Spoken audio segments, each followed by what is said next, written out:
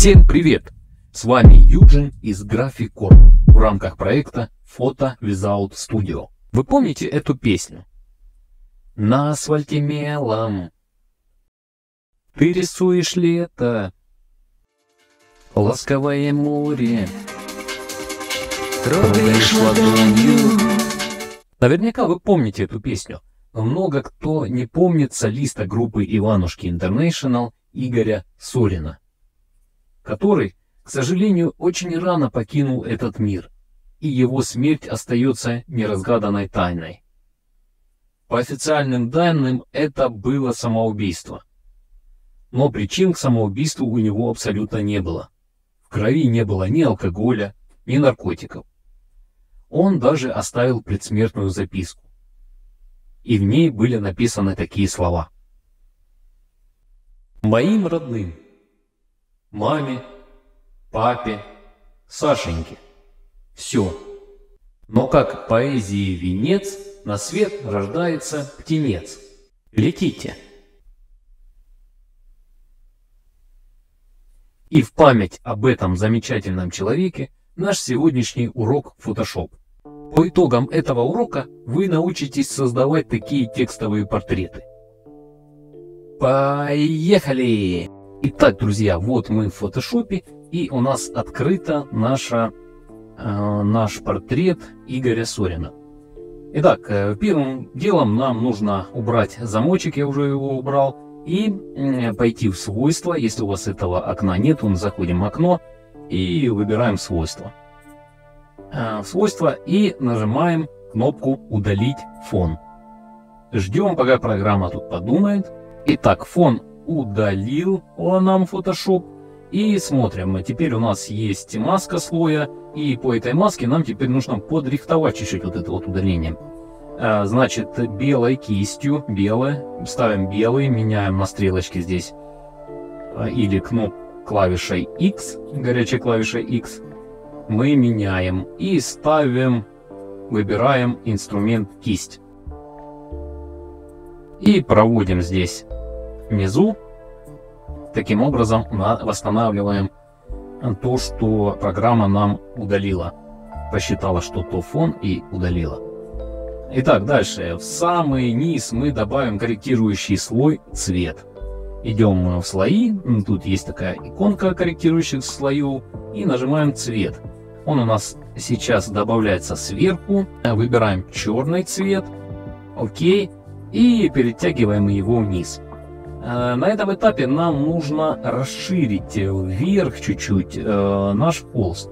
Идем изображение, размер холста, вниз, умножить на 1. А где же запятая? Ну тут нельзя, наверное, запятые ставить. А, нет, можно. А один с половиной, потому что ну 2 это много и то один с половиной много, но мы сейчас э, инструментом э, рамка э, чуть-чуть уменьшим. Ну вот где-то так. Нам в принципе больше и не нужно. Итак, теперь э, со слоя заливка мы берем маску, удалим, удалить. Все, теперь у нас есть фон, есть наша картинка. Э, добавляем в самый верх становимся на слой э, с нашим портретом и э, нажимаем на корректирующий слой, выбираем черно-белое. Есть. Здесь ничего корректировать не надо. Теперь мы приступим к этапу создания карты искривления. Э, становимся на слой с портретом и идем в фильтр, размытие, размытие по гауссу тут нужно смотреть, чем больше у вас э, портрет разрешения, да, допустим, тем надо больше размытия ставить. Но э, чтобы эффект примерно был вот, ну не знаю, вот таким, вот два с половиной, 2,2 вполне достаточно в нашем случае, у вашем надо смотреть по ситуации. Нажимаем ОК и теперь э, сохраняем файл в формате PSD. Файл сохранить как. Называем его map. Ну, это будет у нас карта искривления. Нажимаем сохранить. Мы сохранили э, наш файл. Теперь э, нам нужно избавиться от э, эффекта размытия по Гауссу, который мы сделали для этого портрета. Нажимаем Ctrl-Z, просто возвращаем. Есть. И продолжаем работать над нашим портретом. Мы сохранили карту, она нам пригодится. В самом верху теперь нужно создать новый слой, назвать его текст. Вот так. И преобразовать его в смарт-объект. Правой кнопкой мыши по слою преобразовать смарт-объект. Теперь мы должны зайти в этот смарт-объект. Нажимаем два раза по этому слою, нажимаем ОК, и мы попадаем в этот смарт-объект. Здесь нам нужно нажать э, текст и э, перетягиванием вот таким образом сейчас заполнить вот так примерно. Нет, тут надо подкорректировать. И вот эту всю область заполнить текстом. Текст у меня уже заготовлен. Это у нас э, текст песни «Тополиный путь» Иванушки Интернешнл. И мы сейчас его будем использовать.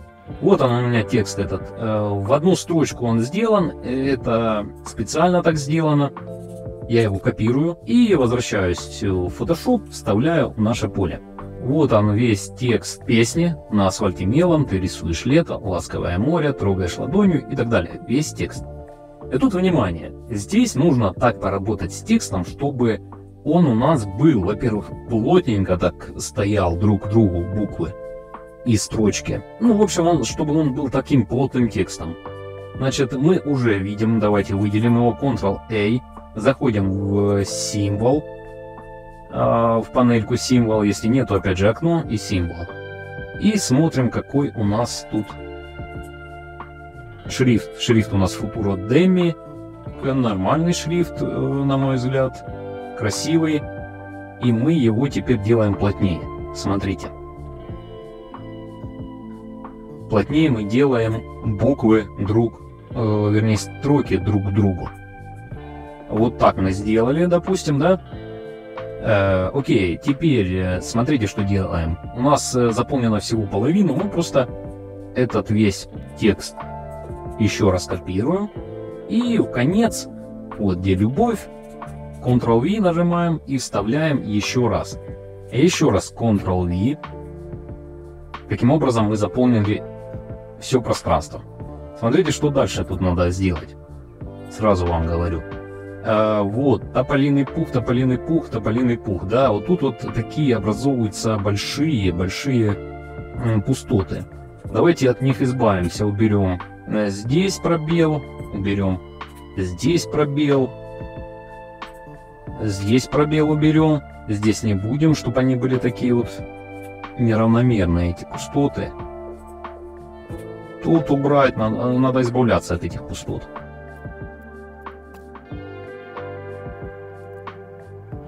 Здесь можно перенести на эту строчку. И таким образом вот мы э, избавились от вот этих пустот. Тут еще надо поработать. Вот.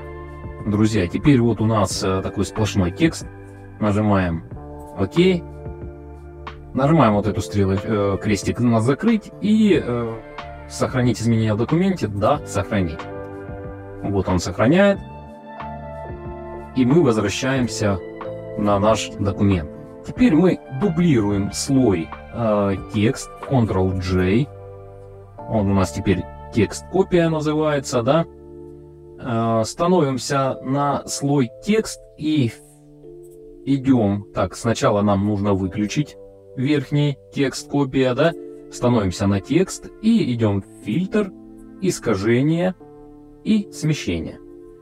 Здесь масштаб по горизонтали и масштаб по вертикали, смотрите, э, то же самое, зависит от размера вашего холста и вашей вообще картинки.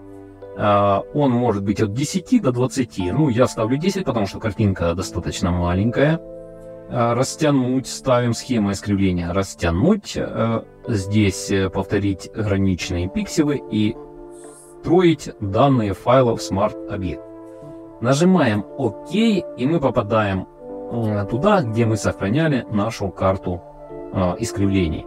Наша карта искривления называется Map. Выбираем ее, нажимаем ОК, и текст приобрел форму лица.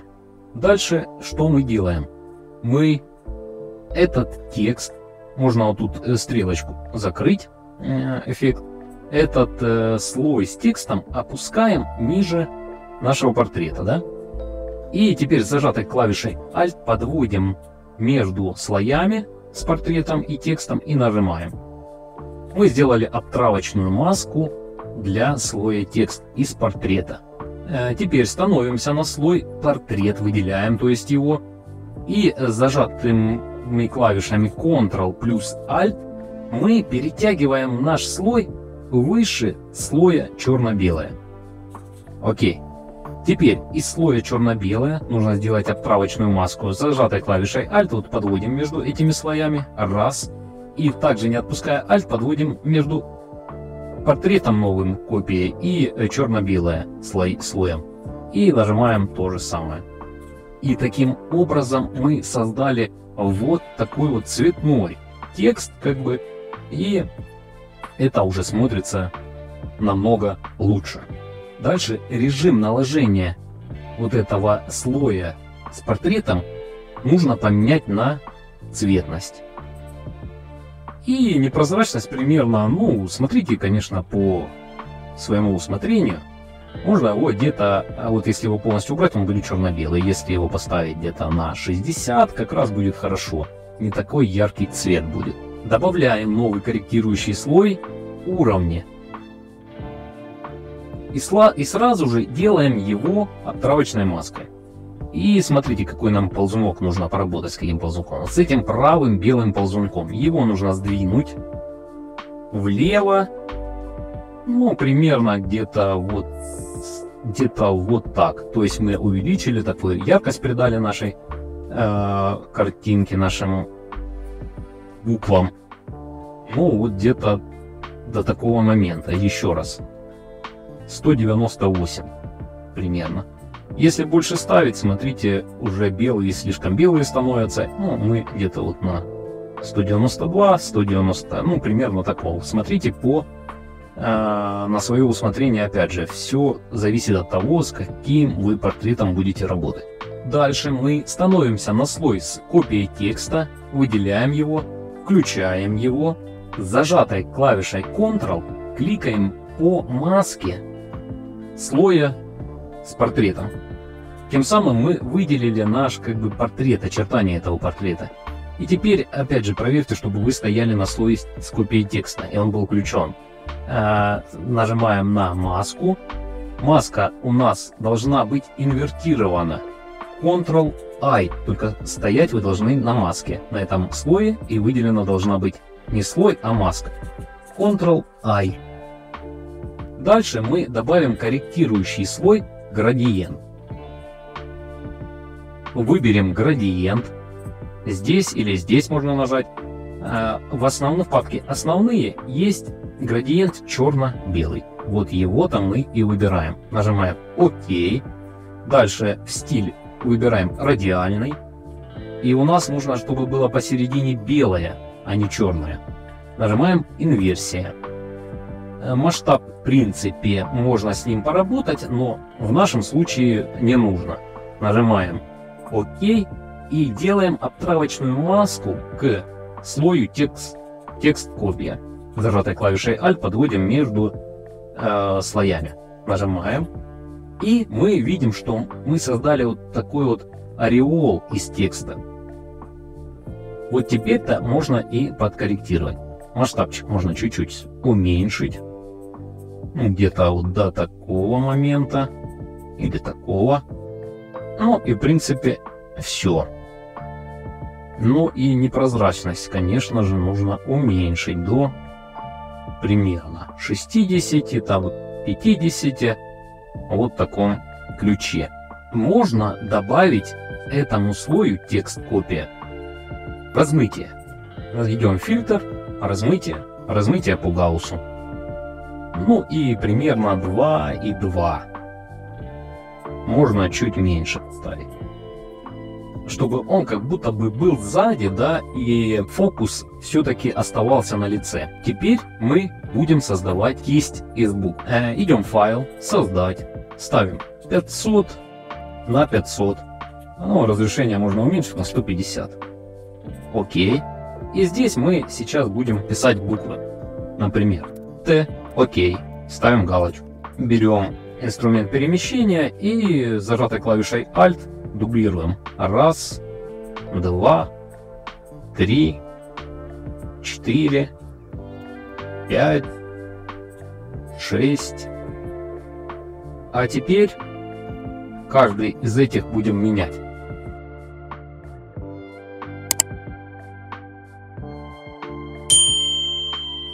Окей. Теперь давайте их красивенько как-нибудь раскидаем тут.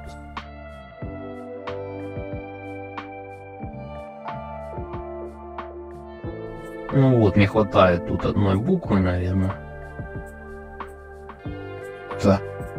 Вот, вроде бы уравновесили все.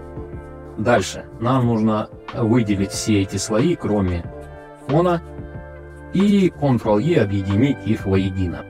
Э, дальше мы идем, э, выбираем инструмент прямоугольная область и вот этим прямоугольничком выделяем это все.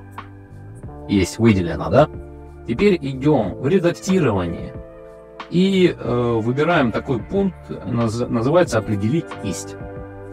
Э, кисти э, ставим имя любое, любое, например, кисть буквы Нажимаем ОК. И все, мы, у нас уже появилась кисть. И все, мы можем закрывать вообще эту вкладку. А, не сохраняем абсолютно. Она сейчас закроется, и мы появились опять в нашем документе. Теперь в самом верху становимся на самый верхний слой, нажимаем на плюсик, создаем новый слой и приступим к настройке кисти. Заходим в панельку кисти. Нет, вот она. Панелька настройка кисти. И здесь э, форма отпечатка сначала заходим. Интервалы нужно увеличить. Ну, примерно на соточку я ставлю. 118, 111, без разницы. Э, чуть-чуть можно наклончик сделать. Дальше динамические формы. Ставим галочку, нажимаем. Колебание размера. Ну, тоже примерно на 50 давайте поставим. Дальше, колебание угла. То же самое, на 50 можно поставить. Э, отразить э, X колебания, галочку ставим. И отразить Y колебания, тоже галочку ставим. Дальше, рассеивание, тоже ставим галочку. Переходим сюда. Э, ставим галочку обе оси и рассеивание ставим сколько? Ну, примерно на соточку, наверное, надо ставить, друзья. Вот примерно так. Окей, сворачиваем и приступаем. Чуть-чуть можно уменьшить. Нет, да, увеличить надо. Ну, вот до такого размера. И мы приступаем к рисованию. Но для начала нужно зажать Alt и выбрать образец с буковки. Вот, смотрите. Оп. И поехали. Сейчас. Раз. Раз. Здесь можно другой образец взять. Раз. Раз. Раз. Раз. А здесь берем опять такой светлый образец. И вот так, да? И теперь терочкой мы будем избавляться от лишнего.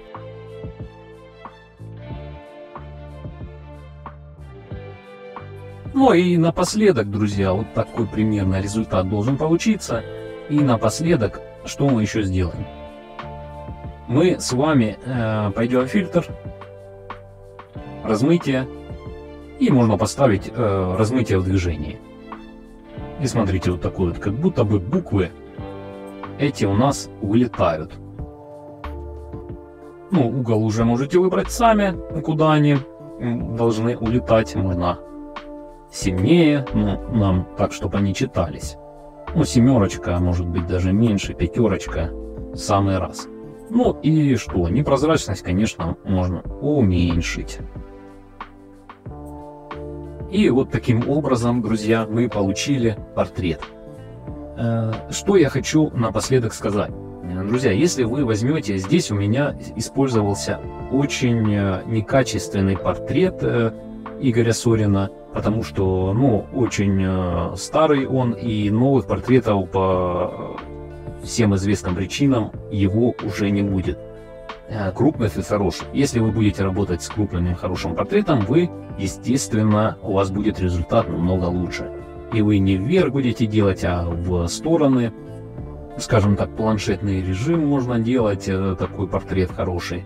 Но техника остается одной и той же. Ну, а на этом все, и мы увидимся.